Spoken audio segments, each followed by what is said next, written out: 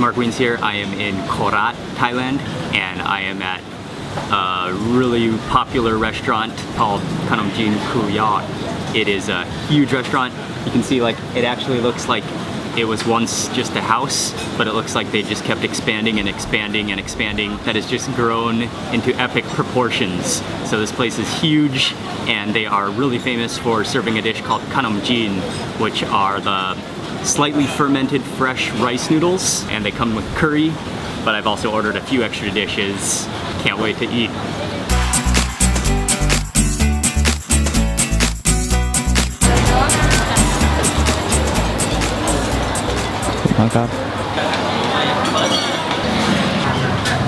Okay, so this is one of the types of khanomjin called khanomjin namya, which is a coconut milk based gravy.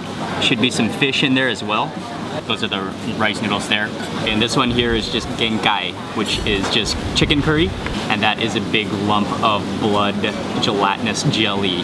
One of the things that's really awesome about eating khanomjin is that it's always served with a, an entire garden's worth of vegetables, raw vegetables on the side. And you can either put the vegetables directly on top of your khanomjin, or you can just eat khanomjin and then sort of garnish your mouth every few bites with some of the vegetables. I think this is lemon basil by Mengrak Maying should be lemon basil, cabbage, bean sprouts, long beans, maybe pak bum or um, or morning glory, and then this is shaved up um, huapli, which is uh, uh, banana flour.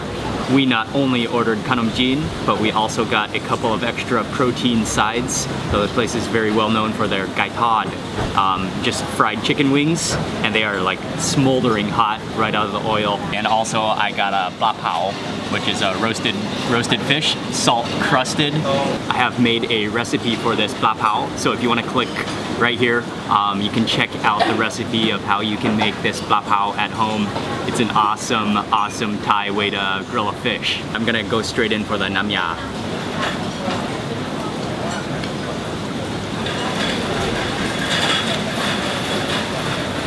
Mmm. Oh.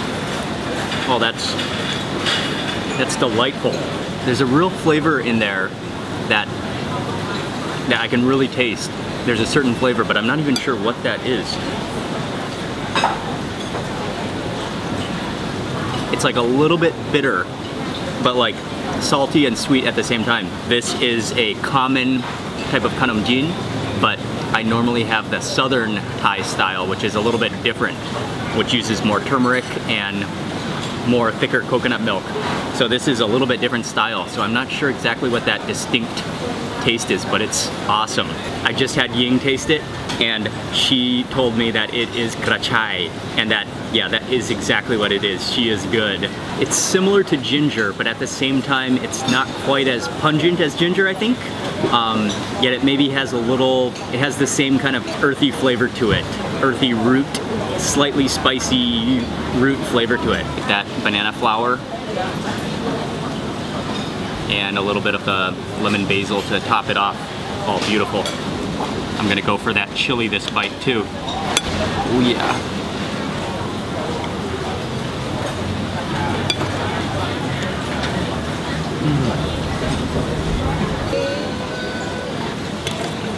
Mm. Grab one of these guys.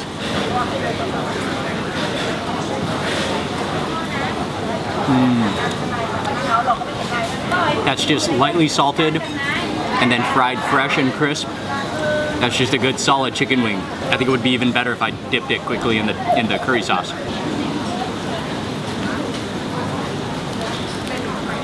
Oh yeah, that's good.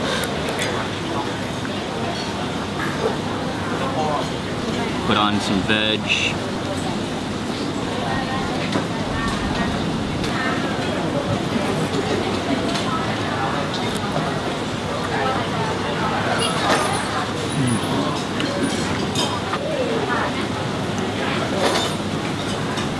More of like a sweet and salty, creamy curry. And it tastes a little bit like Wan, which is the green curry, Thai green curry, but only it's like pink in color instead. That's good as well, but I really like the Namya better. I'm just gonna get a piece of fish, add some sauce. I'm eating him right off, right off the, the bone.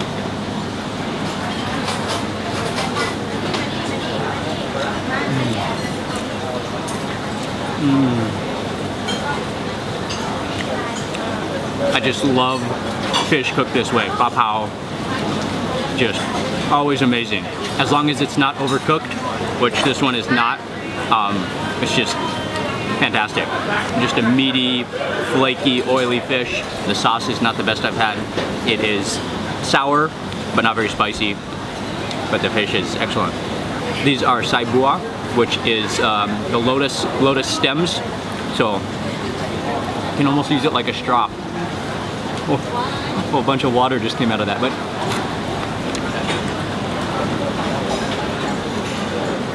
I usually have this in a curry, um, a coconut milk curry, but by itself right now it actually has zero flavor. Yeah, has zero flavor. It's like eating, it's kind of like celery actually. It has that crispness, but really basically no flavor to it. Grab some of this papao, and I'm gonna put it right into my curry.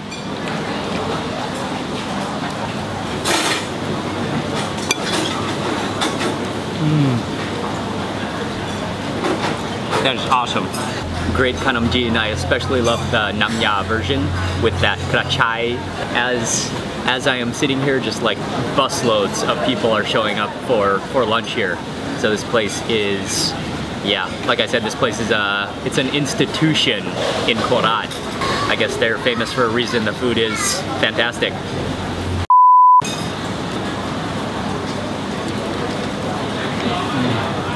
This is a, such an awesome herb. It tastes like you're eating like dish soap, but good, awesome, fresh dish soap. That's probably not the best description I've ever made, but just kind of think of it as dish soap that's awesome. I love all this mixture of, oh, I had to burp real fast. Oh, oh, that was a delicious burp. Anyway, that, that flavor, that earthy tone of krachai. well, we just spit. Hey, it's Mark Wiens here. Thank you for watching this video, and if you enjoyed it, make sure you give it a thumbs up and share it with a friend. Click on one of the thumbnails to keep watching more videos, and if you're not already subscribed, you gotta get subscribed right now so you don't miss more delicious food and travel videos. Okay, I'll see you on the next video.